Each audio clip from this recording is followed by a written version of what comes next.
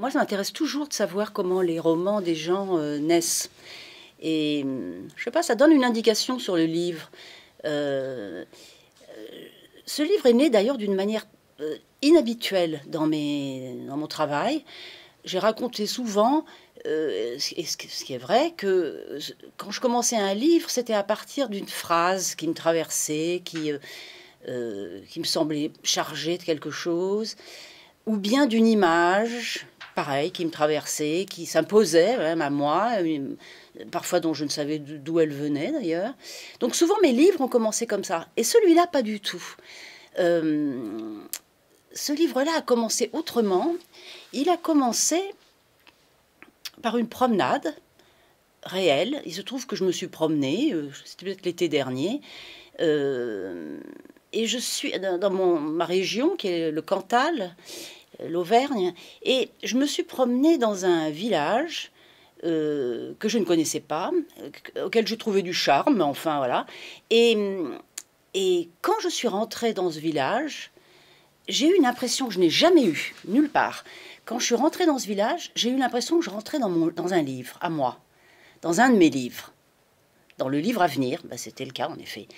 Et euh, alors après, je me suis dit, mais qu'est-ce qui donne cette impression quand... Euh, euh, est-ce que parce qu'il y a des traces dans ce village, des, choses qui vous rappellent des, choses de votre enfance, de votre passé de, Non, je crois pas que ce soit ça. Je crois que enfin c'est mon hypothèse, je me suis dit peut-être ce village était disposé de telle sorte, c'est-à-dire les maisons, l'église, la petite rue, euh, étaient peut-être disposés de la même manière que mes livres.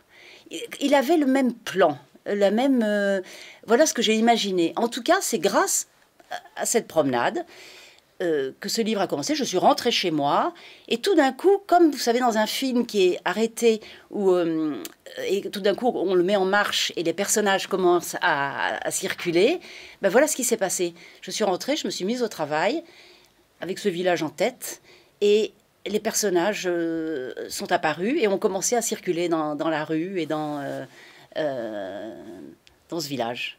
Donc il s'agit, pour en revenir à l'histoire, pour en venir à l'histoire, qu'on résumera en quelques phrases.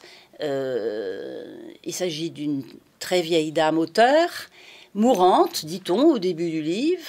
Euh, peu à peu, on va s'apercevoir qu'elle n'est pas si mourante que ça, ou en tout cas que le travail la, réveille. Une très vieille dame auteur qui laisse derrière elle un manuscrit euh, avec des trous, avec des blancs, euh, avec des pages perdues, dispersées, etc. Et une petite équipe de, de un réalisateur, un caméraman et une script, un trio, qui était une figure euh, romanesque toujours euh, très tentante pour un écrivain, le trio.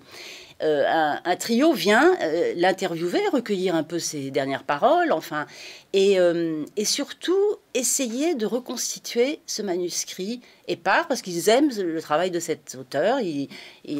donc, ils vont essayer de reconstituer ce manuscrit épars. Ce qui est un peu une métaphore c'est maintenant, que ça me vient, mais un manuscrit épars qu'il faut reconstituer, c'est un peu la métaphore du travail de, l'écriture, finalement, d'un livre. Euh, quand on commence à écrire un livre, on, a en soi toutes sortes de bribes, de morceaux, de, souvenirs, de, de, lecture, de souvenirs de vie, de souvenirs de films, de, bref. Et toutes ces bribes, il s'agit de les euh, de les raccrocher les unes aux autres, euh, de les rattacher, euh, d'en faire un tissu qui, qui, va montrer une image et donc qui va raconter une histoire.